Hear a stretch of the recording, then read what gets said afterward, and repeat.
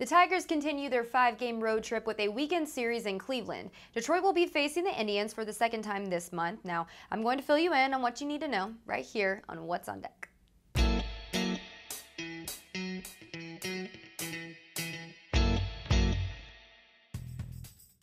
Detroit will be facing the Indians for the second time this month, and it won't be any easier at Progressive Field with Trevor Bauer on the mound in the opener. The right-hander had a slight stumble in May, but has been solid in his last five starts, including an 8-0 victory over the Tigers last Sunday, his first career shutout.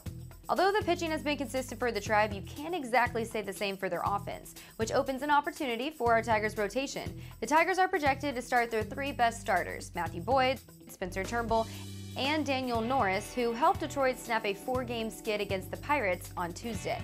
If you're going to be in the Detroit area on Sunday and want to catch the game, stop by Campus Martius at noon for Fox Sports Detroit's watch party presented by Aldi, where there will be a bunch of things for fans to enjoy, including giveaways, games, and more.